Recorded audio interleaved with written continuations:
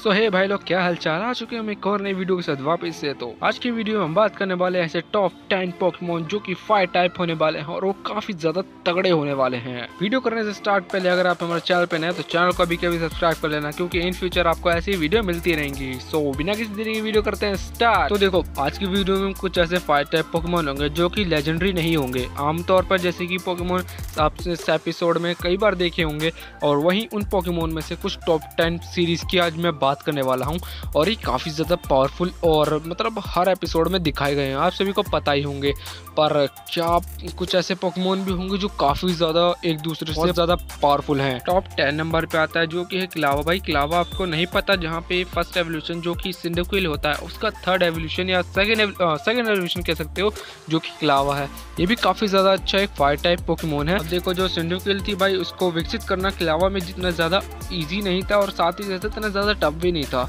एक easy way कह सकते हो इसलिए और ये काफ़ी ज़्यादा पावरफुल पोकेमोन में से एक है। अब देखो, मैं इसकी कुछ स्पेसिफिकेशन बता देता हूँ, जहाँ पे भाई ये इसकी एचपी आ जाती है 58 मतलब ठीक ठाक इतनी बेकार नहीं है। और इसके पास है 64 अटैक्स जो कि अब देखा जाए, अगर ट्रेनर इसे सही तरह से इस्तेमाल करता है तो काफ़ी आगे तक जाके किसी भी अपोनेंट को इजीली हरा सकता है। अब अगले पोकेमोन का नाम है, जो कि है मोनफेना मोनफेना आप सभी को पता होगा, इसका जो थर्ड एवोल्यूशन होता है, जो कि इन्फने काफ़ी ज़्यादा लोगों को पसंद है।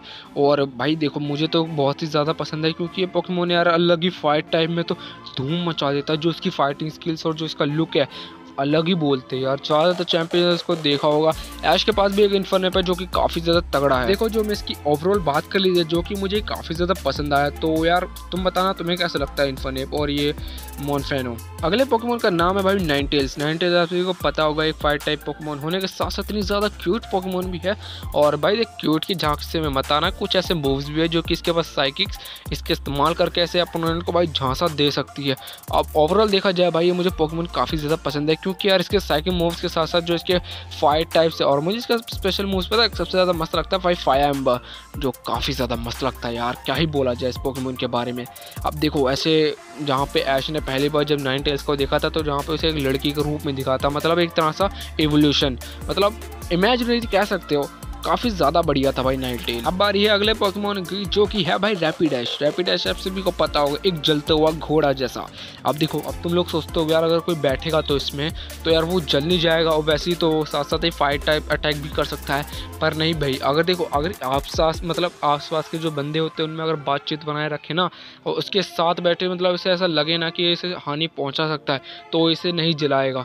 मतलब एक बार ऐसे आप ऐश ने देखा होगा, जहाँ पर आप लोग ने देखा होगा एक एपिसोड में, जहाँ पे ऐश ने एक इसके रैपिड ऐश के बहुत से मतलब ऐसे पोकेमोन्स थे, जहाँ पे रेस हो रही थी, वहीं पे रैपिड डैश भी था। जहाँ पे ऐश रैपिड डैश के ऊपर भाई रेस जीता था।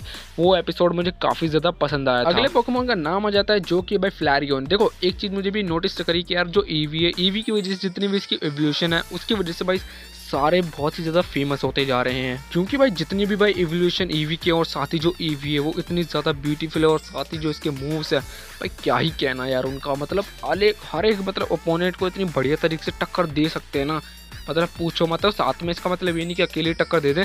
अब देखो, उसके साथ भाई एक काफ़ी अच्छा ट्रेनर भी होना चाहिए तो एक काफ़ी ज़्यादा बढ़िया रहता है हर पोकेमोन के लिए। अगले पोकेमोन का नाम आ जाता है, जो कि है भाई टाइफोसिन अब बहुत से लोगों को पता नहीं होगा भाई इस पोकेमोन का नाम मतलब इसके बारे में, क्योंकि भाई इसे बहुत ही कम एपिसोडों में दिखाया गया अब दिखाया गया होगा तो भाई किवाला को, भाई किवाला जैसे कि मैंने शुरुआत में बताया जाता है, ये भी एक फाइव टाइप पोकेमोन है, जहाँ पर सिंडिकल होती है, पर साथ ही साथ जो भाई टाइफोलियसिन है, जो भी काफ़ी ज़्यादा बढ़िया है। अब देखो, जो टाइफोसिन को भाई इसे गोल्ड एंड सिल्वर में डाला गया था। तब से भाई इसका नाम चला है कि भाई ये भी एक पोकेमोन है। ओवरऑल देखा जाए, ये काफ़ी सही है, पर इसे बहुत ही कम बंदे भाई मतलब ट्रेन करना चाहते हैं, क्योंकि इतने ज़्यादा बढ़िया नहीं है, जितना भाई क्यों वाला है। अब वहीं अगले पोकेमोन का नाम आ जाता है, जो कि है मेगा मोटर भाई देखो, ये साला पोकेमोन इतना ज़्यादा बढ़िया है भाई, सच बता रहा हूँ मतलब इतने ज़्यादा एपिसोड में नहीं आया इस वजह से ज़्यादा दिमाग ख़राब हो रहा है। बस एक ही एपिसोड में आया था, जहाँ पे चारिजार्ड और इसकी काफ़ी भयंकर फाइट हुई थी। अब देखो जो इसके कुछ स्पेसिफिकेशन जो कि है, इसकी 75 फाइव है और वहीं 125 स्पेशल अटैक्स है। और मुझे काफ़ी ज़्यादा ओवरऑल बढ़िया पोकेमोन है, क्योंकि जो इसके फाइटिंग स्किल्स है, ओए होए हुए, क्या ही कहने इसके यार, जो इसके जो एम्बर निकल रही है, इसे कभी भाई मैच में लड़ते हुए देखना। ना तुम्हारा दिल खुश है जो इसमें सामने वाले अपोनेंट को इतनी बढ़िया टक्कर देता भाई ये पोकेमोन वाह वाह वाह, अगला पोकेमोन दोबारा से भाई इन्फने पे यार, क्या ही कहने इसके तो। शुरुआत मैंने इसके कुछ फ़र्स्ट और सेकेंड एवोल्यूशन की थोड़ी बात करी थी। अब देखो, इसका थर्ड एवोल्यूशन जो कि ये भी काफ़ी ज़्यादा पावरफुल है। मैंने बताया इसके पास भी है। आयराश ने काफ़ी ज़्यादा अच्छी टक्कर दे रखी है। अब देखो जो इसकी स्पेशल अटैक्स हैं, जो 104 हैं। अब देखो भाई एज अ नॉर्मल देखा जाए पोकेमोन को इतने ज़्यादा नहीं होते और ये काफ़ी ज़्यादा बढ़िया पोकेमोन है, जहाँ पे तुमने इस ऐश के पास जो आप इसका अलग ही कंट्रोल खो देने वाला मूव देखा होगा, जहाँ पे पूरी तरह से जलने लग जाता है। मुझे भाई जो इसका लुक होता है यार है, क्या मस्त लगता है। जहाँ पे सामने वाले अपोनेंट के तो बस क्या ही कहने, उसके तब बीत ही जाती है यार। मस्त पोकेमोन है। और वहीं अगले पोकेमोन का नाम आ जाता है, जो कि है आर्कनाइन भाई आर्कनाइन के भी भाई काफ़ी ज़्यादा पॉपुलर पोकेमोन में से एक है। अब देखा जाए, देखो, सबसे पहले भाई हमने इसे एक ऑफिसर जैनी के पास देखा था, जहाँ पे भाई ये पुलिस के साथ काम करता था। आप कह सकते हो भाई, ये काफ़ी ज़्यादा बढ़िया डॉग पोकेमोन काफ़ी ज़्यादा हेल्प कर सकता है हर चीज़ में। इसके पास सूंघने की काफ़ी अच्छी पावर और साथ ही फाइट टाइप होने के साथ साथ किसी भी पोकेमोन को ईजिली डिफीट कर सकता है। और यहाँ पे सबसे पहले भाई इसे रेड एंड ब्लू के अंदर भाई पोकेमोन वर्ल्ड के अंदर डाला गया था।